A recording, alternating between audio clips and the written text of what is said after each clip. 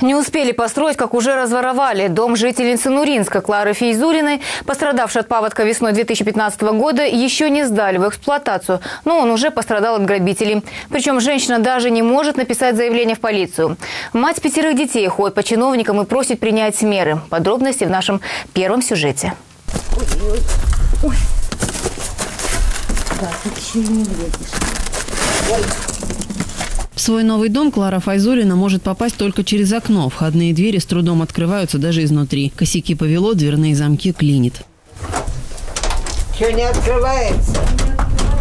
Осенью прошлого года пострадавшая от паводка жительница Нуринска отказалась принимать этот дом из-за множества недоделок. Ей пообещали достроить жилье весной, но до этого времени новостройка не достояла, дом ограбили. Разбили стекла, забрали печь, вынесли все батареи и пластиковые трубы. Сейчас она в ужасе показывает, что натворили грабители. Здесь вот остался только туалет. Вот это вот они не сняли еще. Но трубы сняли здесь. Тут сняли мойку и трубы и. Вот все перебили. Ее дом ограбили еще в январе, об этом ей сообщили соседи. Она сразу заявила в полицию. Оперативники, приехавшие на место ЧП, сняли отпечатки пальцев, кражу зарегистрировали и пообещали искать воров. Но с тех пор тишина. Заявление от женщины полицейские не приняли. Говорят, раз акт приемки у подрядчиков не подписала, значит, пока права на жилье не имеет. Потом после этого ко мне приехали застройщики, кто строил. При, привезли документы и говорят, подпишите документы, что вы к нам претензий не имеете. Вот. Но я не стала ничего подписывать, потому что дома много недоделок. Я сказала, подписывать я ничего не буду, так как много недоделок.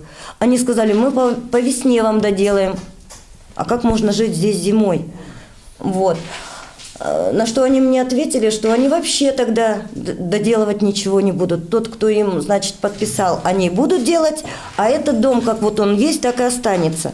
Мать пятерых детей устала обивать пороги акиматов и полиции. По сути, ответственность за дом до приема жилья хозяевами несут застройщики и акимат, считает она, но чиновники разводят руками. Время идет, а дом остается брошенным. Заехать в него Фазулина с детьми не может, условий никаких. Вот, видите, какую они мне дверь? Заходите и живите. Сейчас она подала заявление в областную прокуратуру с просьбой разобраться в ситуации. Там заявление приняли и назначили проверку. Теперь Клара ждет ответа от них. После наводнения мне гараж весь ограбили, ничего не нашли. Ни вещей, ничего не осталось. Теперь грабят мой дом, да? Я еще в него не селилась. Я там живу на съемных квартирах с детьми, скитаюсь. Здесь вообще беспредел. Я не знаю, куда обращаться, я не знаю, куда идти. Я вчера была в прокуратуре и сказала, я поеду в Астану. Мне говорят, сейчас кризис. Я понимаю кризис. Я на работе зарабатываю копейки. Если я прошу простой человек, значит, мне ничего не надо строить. Если чиновникам им хорошие дома построили, если мы простые люди, живите как хотите. Рядом с домом Клары Фазулиной новостройка Ирины Копель. Хозяева решили не спорить с подрядчиками и приняли у них жилье. Зима в новом доме стала испытанием. Стены от сырости покрылись плесенью, потолки протекают. От холода женщина-инвалид не перестает болеть. С дверей дует.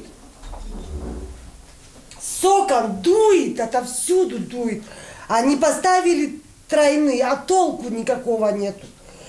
Пол вот весь, как попало, постеленный. Ну что это такое? Колдобины, вот колдобины. Вон, везде колдобины, вот это. Идешь, у меня ноги больные, и, и э, наступаешь больно. Дом Ирины Копель строила та же фирма, что и дом Файзулиных. Строители Тимиртауской компании «Бирюса» обещают позже дома доделать, но известно, что на эти работы денег у них уже нет. С подобной проблемой столкнулись многие жители Нуринска и поселка Габидена-Мустафина. Теперь пережившие наводнение люди с нетерпением ждут лета, чтобы хоть как-то поправить новые дома. Людмила Батюшкина, Ирина Нинашева, Владимир Иванюк, Пятый канал.